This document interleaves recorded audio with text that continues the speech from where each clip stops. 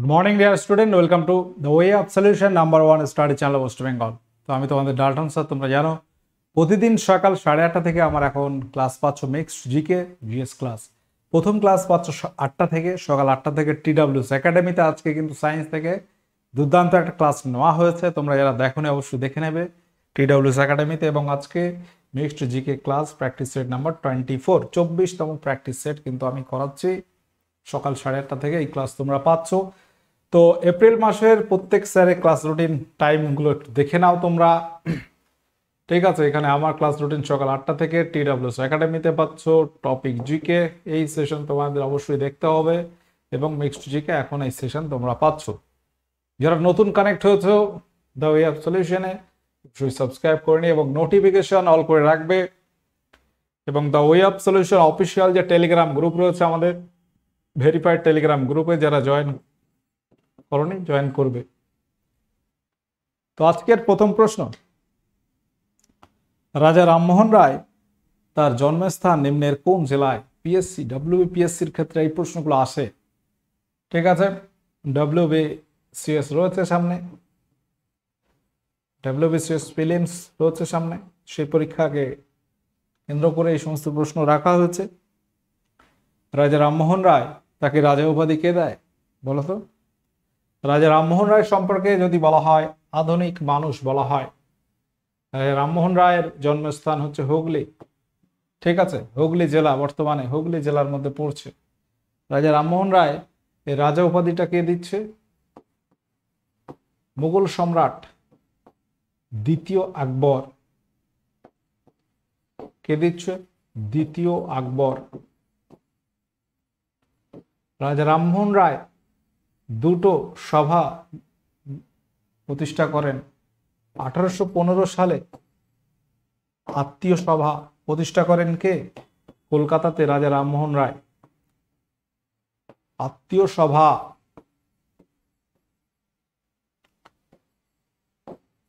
এবং আঠারোশো আঠাশ সালে তিনি প্রতিষ্ঠা করেন ব্রাহ্ম সভা যেটা আঠারোশো হয় ব্রাহ্ম সমাজ তাহলে আঠারোশো আঠাশে আমরা কি লিখতে পারি? ব্রাহ্ম সভা, যেটা আঠারোশো তিরিশে ব্রাহ্ম সমাজ হয়।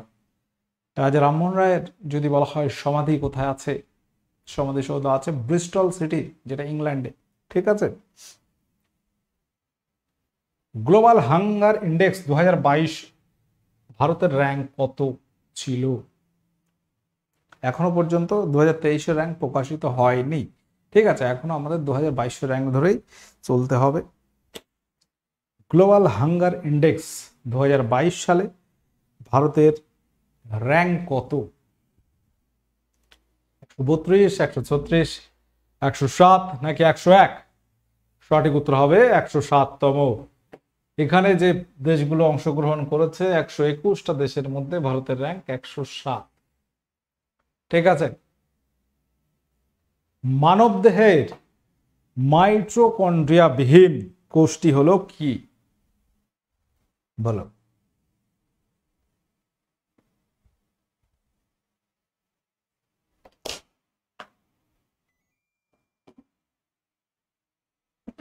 মানবদেহের মাইট্রোকন্ড্রিয়া বিহীন কোষটি হলো কি? যকৃত কোষ, স্নায়ু কোষ আরবিসি নাকি নান অফ দিস সঠিক উত্তর হবে আরবিসি লোহিত রক্ত কণিকা। ওই জন্য দেখবে আরবিসিতে ক্রেপস চক্র হয় না। ক্রেপস চক্র হয় না। এছাড়া প্রান্তীয় শ্বসন প্রান্তীয় শ্বসন হয় না। শ্বসনের তিনটে পর্যায় আমরা কি কি জানি? গ্লাইকোলাইসিস ক্রেপস চক্র এবং প্রান্তীয় শ্বসন। তো সেখানে আরবিসিতে ক্রেপস চক্র প্রান্তীয় শ্বসন হয় না, কারণ কি? এটা মাইট্রোকন্ড্রিয়া বিহীন। আমরা জানি যে ক্রেপস চক্র বলো বা প্রান্তীয় শ্বসন হয় মাইট্রোকন্ড্রিয়াতে মাইট্রোকন্ড্রিয়াতে কোন ধাতুটি সর্বাধিক তাপ পরিবাহী? আমরা জানি কি? সিলভার। এটা সব থেকে বেশি তড়িতের সুপরিবাহী। তড়িৎ এর সব থেকে ভালো সুপরিবাহী। এবার যদি বলা হয় তাপের, সেটা কি হবে? সেটাও কিন্তু এখানে সিলভারই হবে। ঠিক আছে? কপার রয়েছে, প্রায় সমান হারে তাপ পরিবহন করে। দুহাজার তেইশ সালের আন্ডার টোয়েন্টি ফিফা বিশ্বকাপ কোন দেশে অনুষ্ঠিত হবে?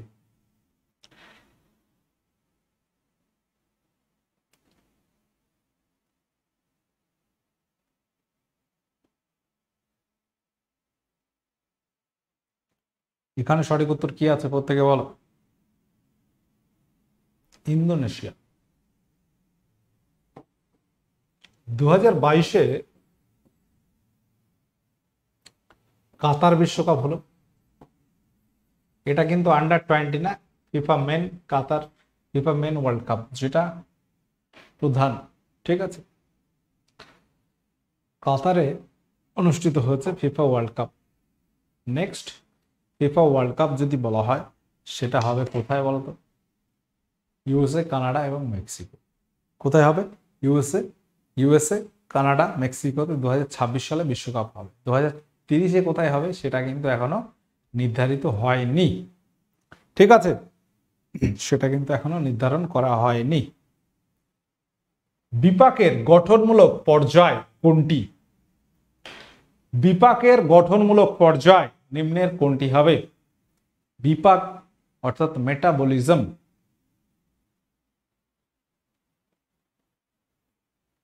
সঠিক উত্তর হবে এখানে কি? উপচিতি বিপাক, যেটা বলা হচ্ছে গঠনমূলক। গঠনমূলক। আর অপচিতি, এটা হচ্ছে ভাঙনমূলক। ভাঙনমূলক, ঠিক আছে? এবং শ্বসন রেচন, এগুলো সব অপচিতি বিপাক, ভাঙনমূলক। ঠিক আছে? হৃৎপিণ্ডের পেশিকে কি বলা হয়?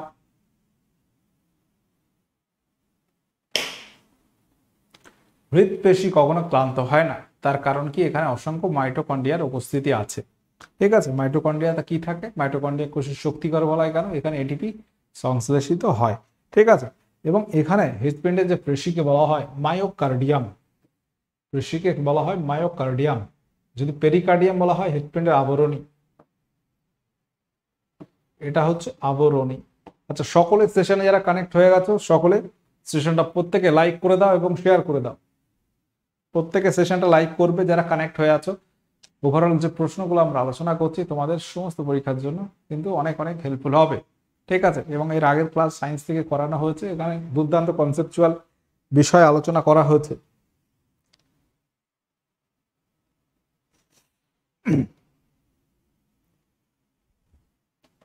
আচ্ছা এখানে সঠিক উত্তর কি হবে? জলসমের একক হলো কি? ডিগ্রি সেন্টিগ্রেড, ক্যালোরি গ্রাম নাকি ডাইন? আচ্ছা জলসম বা যেটাকে বলা হচ্ছে ওয়াটার ওয়াটার ইকুয়াল ভ্যালেন্ট ঠিক আছে? ওয়াটার ইকুয়াল ভ্যালেন্ট মানে হচ্ছে জল সম, এটা হচ্ছে প্রত্যেক কোনো একটা বস্তুর উষ্ণতা এক ডিগ্রি সেলসিয়াস বৃদ্ধি করতে যে পরিমাণ তাপ লাগছে, ওই তাপ কত গ্রাম বা কত ভরের জলের উষ্ণতা এক ডিগ্রি বৃদ্ধি করতে পারছে? সেটাকে ওই বস্তুর জলসম বলা হবে। অর্থাৎ সেটা কত গ্রাম ভরের জলের উষ্ণতা বৃদ্ধি করতে পারছে এক ডিগ্রি বা কত কেজি? তাহলে এটা হচ্ছে জল সমের সিজিএস একক এটা ভরের এককের সঙ্গে সমান। এসআই যদি বলতো, এসআই একক কেজি হতো। ঠিক আছে, জল সমের এসআই একক কিলোগ্রাম হতো।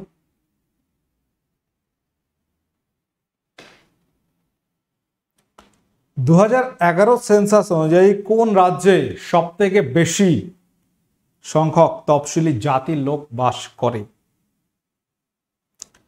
দু হাজার এগারো সেন্সাস অনুযায়ী কোন রাজ্যে সব থেকে বেশি সংখ্যক তফসিলি জাতি লোক বসবাস করে? মিজোরাম, মধ্যপ্রদেশ, উত্তরপ্রদেশ, পাঞ্জাব। যদি তফসিলি উপজাতির কথা বলা হতো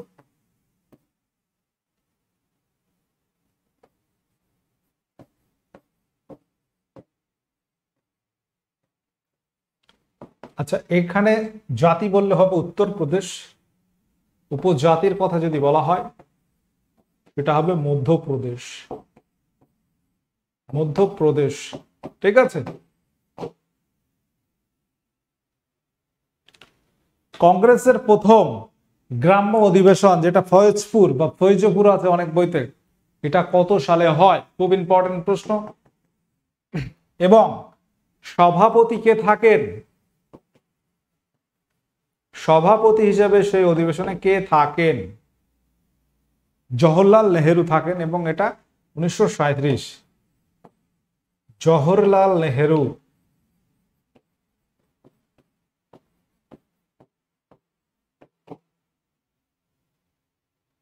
বলো, একই রকম প্রশ্ন আমরা দেখেছি নেপাল, ভুটান। এবার আজকে চীনের সঙ্গে ভারতের কয়টি রাজ্যের আন্তর্জাতিক সীমানা আছে?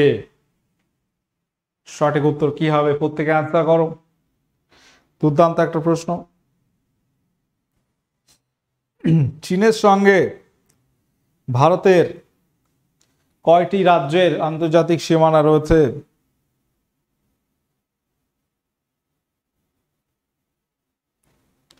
কি হবে সঠিক উত্তর?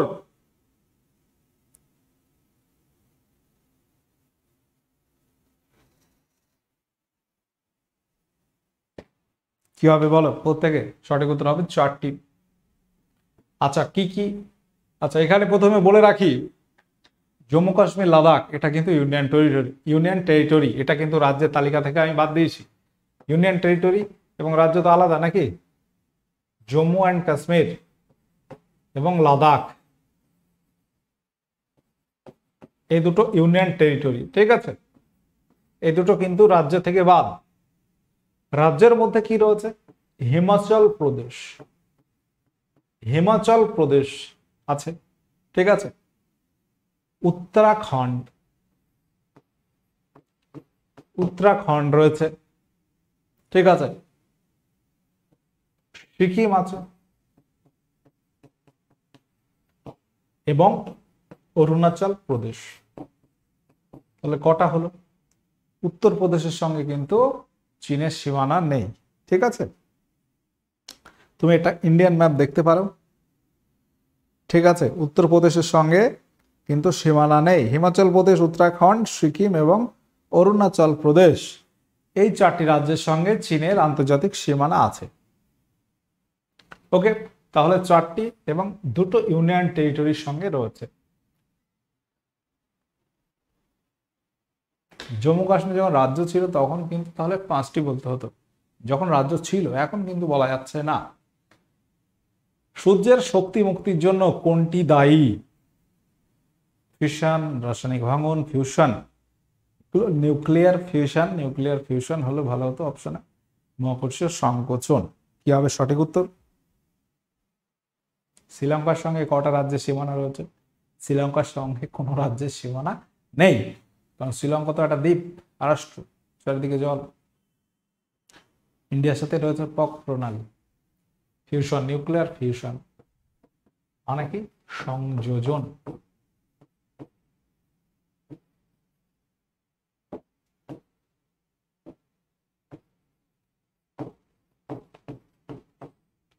স্পেলিং ভুল হতে পারে, ঠিক আছে? কোন গুপ্ত সম্রাটকে ভারতের পরিত্রাতা বলা হয়?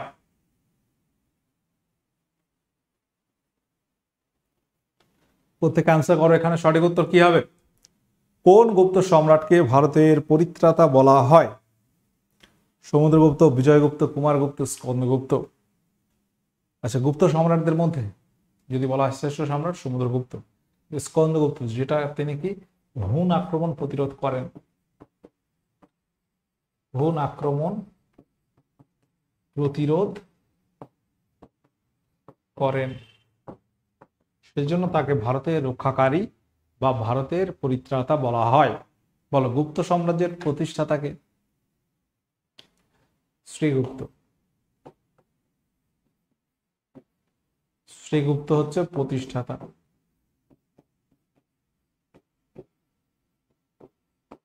শ্রেষ্ঠ রাজা আমরা বললাম, সমুদ্রগুপ্ত, তোমরা কমেন্ট করবে, শেষ রাজা। গুপ্ত বংশের শেষ রাজার নাম কি?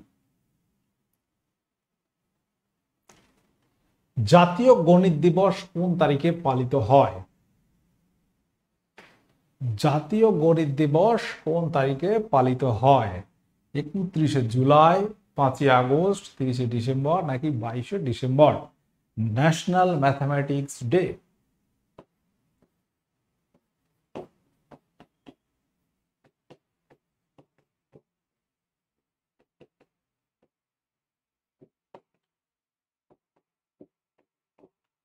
কি হবে সঠিক উত্তর এখানে? হবে বাইশে ডিসেম্বর। ঠিক আছে? বাইশে ডিসেম্বর পালিত হয় ন্যাশনাল ম্যাথমেটিক্স ডে। কোন রাজ্যে তৃতীয় ভারত ভিয়েতনাম দ্বিপাক্ষিক সেনা মহড়া এক্স ভিনভ্যাক্স দু হাজার বাইশ হয়েছে? কোন রাজ্যে হয়েছে এটা? যেটা ভারতের সঙ্গে ভিয়েতনামের মধ্যে এই তৃতীয় সেনা মহড়া। উত্তরাখণ্ড, গুজরাট, হরিয়ানা, অন্ধ্রপ্রদেশ সঠিক উত্তর এখানে কি হবে? প্রত্যেকে অ্যান্সার কর। সকলে সেশনে যারা আছো, শেষ পর্যন্ত দেখতে থাকো। সব প্রশ্নগুলো ইম্পর্টেন্ট আছে। সঠিক উত্তর হবে হরিয়ানা। এটা একটু মনে রাখো, এটা নোট করতে হবে তোমাকে। ঠিক আছে? এই ধরনের প্রশ্ন মাঝে মাঝে আমি করাই এবং এগুলো তোমাকে মনে রাখতে হবে। আচ্ছা আন একাডেমিতে তোমরা এক বছর এক্সটেনশন পাবে। সিজিএল সিএইচএস এর ব্যাচ যেটা চার এপ্রিল থেকে চালু হয়েছে এবং ডব্লিউবিসিএস এর একটা প্রিলিমস মেন্সের ব্যাচ সিক্স এপ্রিল থেকে শুরু হচ্ছে। Course fee Alamin nine Amin code use করলে টেন পার্সেন্ট ডিসকাউন্ট রয়েছে। দেখে নাও ফিচার্সগুলো এগুলো আছে।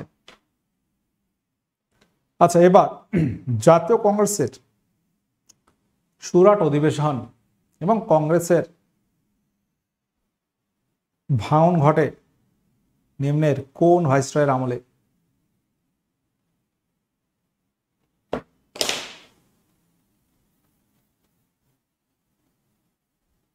আচ্ছা সুরাট অধিবেশন যেটা, সেটাই তো ভাঙন ঘটে উনিশশো সাতে। নরমপন্থী এবং চরমপন্থীর মধ্যে বিভাজন হয় এবং এটা থাকে লর্ড মিন্টো। লর্ড কার্জন উনিশশো পাঁচে এন্ড হয়ে যাচ্ছে, তারপরে আসছে লর্ড মিন্টো। আচ্ছা সময়সীমাটা একটু দেখে নাও। লর্ড কার্জন আঠারোশো নিরানব্বই থেকে উনিশশো পাঁচ, তারপর লর্ড মিন্টো উনিশশো পাঁচ থেকে দশ। ঠিক আছে? লর্ড হার্ডিঞ্চ দশ থেকে ষোলো লর্ড চেমসফোর্ড ষোলো থেকে একুশ। এরপর Lord Reading Lord Irwin Lord Willingdon Lord Linlithgow Lord Wavell তাই তো? লর্ড মাউন্ট ব্যাটেন ব্যাস। স্বাধীনতা হয়ে গেছে। আবার লর্ড মাউন্ট ব্যাটেন তারপর চক্রবর্তী রাজা গোপালাচার্য গৌতম বুদ্ধ কোথায় তার বাণী প্রথম প্রচার করেন? তো এই প্রশ্নগুলো আগে যেগুলো বলা হলো যে কোন ভাইসরয়গুলো পরপর এগুলো আমরা বহুবার আলোচনা করতে করতে তোমাদেরও মুখস্থ হয়ে গেছে, আশা করি। ঠিক আছে? এগুলো ওই জন্য প্রশ্নগুলো রাখতে হয়। কারণ এখন যে প্রশ্নগুলো হচ্ছে ডেপথের তোমার সময়টা মনে রাখতে পারলে কোন ভাইসরয় তুমি বুঝতে পারবে? গৌতম বুদ্ধ, যিনি বৌদ্ধ ধর্মের প্রচারক আমরা জানি, তিনি প্রথম বাণী প্রচার করেন সারনাথ। নেপালের কপিলাবস্তুর লুম্বিনী উদ্যানে জন্মগ্রহণ করে। বৈশাখী পূর্ণিমা তিথিতে গৌতম বুদ্ধ। ঠিক আছে? ডিএনএ এর ফুল ফর্ম কি আগে বলো? ডিএনএ জিনের গঠনগত একক। ডিএনএ এর পুরো কথা কি? Deoxyribonucleic acid. আর আরএনএ যদি বলা হয় রাইবো নিউক্লিক অ্যাসিড। ঠিক আছে? এখানে দুটো পিউরিন বেস এবং দুটো পিরিমিডিন বেস থাকে নাইট্রোজেন বেস তো এখানে ডিএনএতে পিরিমিডিন বেস কোনগুলো? সঠিক উত্তর হবে থিয়ামিন সাইটোসিন আর purine base adenine guanine purine base adenine guanine তাহলে ডিএনএ এর ফুল ফর্ম হচ্ছে ডিঅক্সি রাইবোনিউক্লিক অ্যাসিড এবং আরএনএ রাইবোনিউক্লিক অ্যাসিড ঠিক আছে? এগুলো মনে রাখতে হবে। পৃথিবীর বৃহত্তম দ্বীপ কোনটি? গ্রিনল্যান্ড, নেদারল্যান্ড, নিউজিল্যান্ড নাকি কোনোটি নয়? সঠিক উত্তর এখানে কি হবে? পৃথিবীর বৃহত্তম দ্বীপ কোনটি? সঠিক উত্তর এখানে কি আছে? বলো।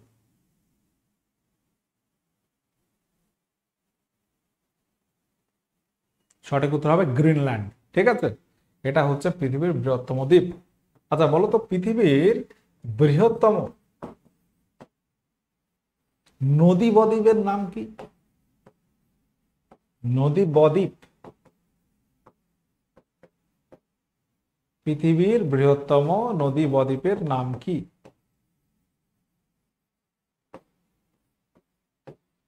এটা কিন্তু মাজুলি দ্বীপ। ব্রহ্মপুত্র নদের দিয়ে নদীতে রয়েছে ব্রহ্মপুত্র নদীর উপরে মাজুলি দ্বীপ।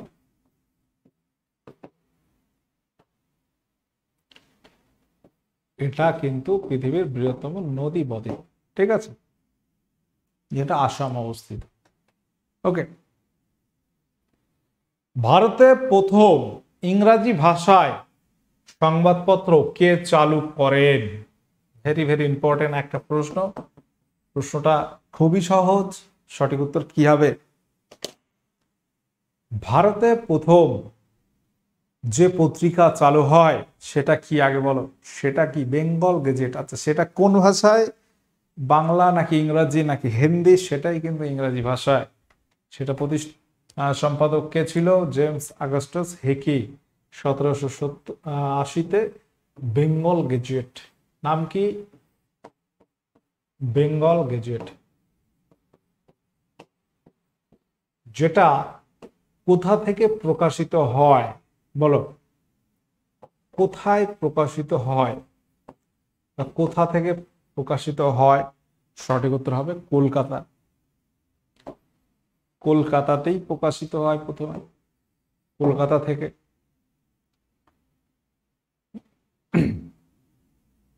এবং তোমরা বলবে, এটা দৈনিক, সাপ্তাহিক নাকি মাসিক? ডেলি নিউজ পেপার ছিল, উইকলি নাকি মান্থলি, কোনটা হবে? এটা কিন্তু ছিল উইকলি, সাপ্তাহিক। ওকে? রাজ্যের অ্যাডভোকেট জেনারেলকে কে নিয়োগ করেন? রাজ্যের অ্যাডভোকেট জেনারেলকে কে নিয়োগ করেন? রাজ্যের অ্যাডভোকেট জেনারেল অর্থাৎ রাজ্যের সর্বোচ্চ আইন বিশেষ আইনজ্ঞ ঠিক আছে?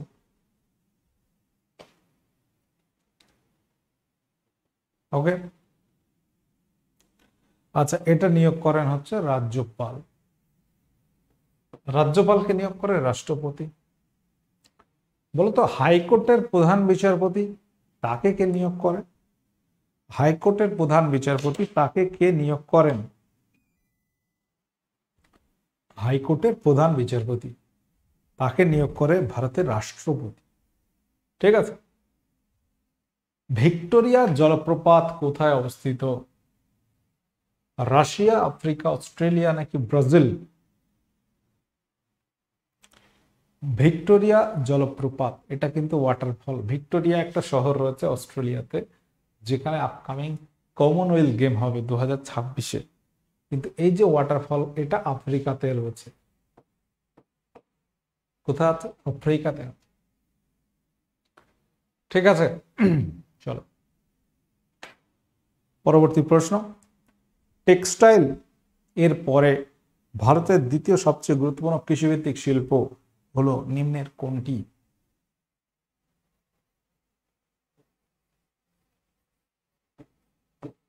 তাহলে প্রথম টেক্সটাইল বা বস্ত্রবায়ন শিল্প যেখানে সব থেকে বেশি শ্রমিক নিযুক্ত আছে ভারতে কৃষিভিত্তিক শিল্পের মধ্যে ওটাই প্রথম। দ্বিতীয় যদি বলা হয়, সেটা কি হবে? দ্বিতীয় কিন্তু হয়ে যাবে চিনি শিল্প। বলো, চিনি উৎপাদনে কোন রাজ্য প্রথম? চিনি উৎপাদনে কোন রাজ্য প্রথম স্থান অধিকার করে?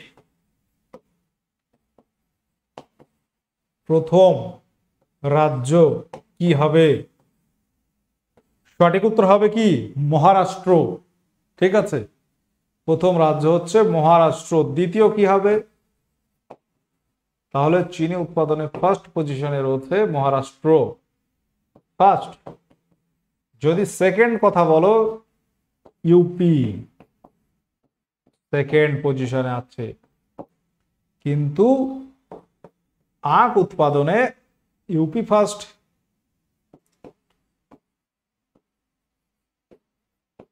আখ উৎপাদনে ইউপি ফার্স্ট পজিশনে রয়েছে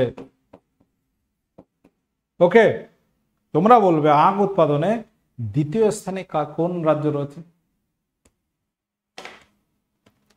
গতকালের তোমাদের হোমওয়ার্ক ছিল হান্টার কমিশন গঠিত হয় নিম্নের কার সময়ে? কত সালে?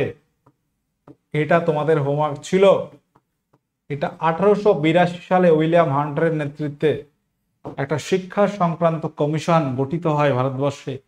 তখন থাকে লর্ড রিপন আশপাশে আর কেউ নেই, ঠিক আছে? লর্ড লিটন বা লর্ড ডাফরিন থাকলে একটু কনফিউশন হতো বাট এখানে কনফিউশনের কোনো জায়গা নেই। বলো তো, লর্ড রিপনের সময়কালটা কত? এবার দেখি কে পারো। বহু ক্লাসে আমরা আলোচনা করেছি। লর্ড রিপন কত সাল থেকে কত সাল পর্যন্ত ভারতবর্ষের ভাইসরয় হিসেবে থাকেন? বলো আঠারোশো আশি থেকে চুরাশি। তারপর আসবে লর্ড ডাফরিন। কংগ্রেস প্রতিষ্ঠা হবে তার সময়। ঠিক আছে? বুঝে গেল? ওকে। আচ্ছা রাজা রামমোহন রায় প্রতিষ্ঠাতা ছিলেন কিসের? এটা তোমরা হোমওয়ার্ক করবে। রাজা রামমোহন রায় দিয়ে প্রশ্ন শুরু হয়েছিল এবং এখানেই প্রশ্নটা শেষ হচ্ছে। ঠিক আছে প্রত্যেকে এটা হোমওয়ার্ক করো। আজকের সেশনের প্রশ্ন সংখ্যা প্রশ্ন সংখ্যা প্রতিদিন একই থাকছে, পঁচিশ প্লাস এক, ছাব্বিশটা করে প্রশ্ন থাকছে।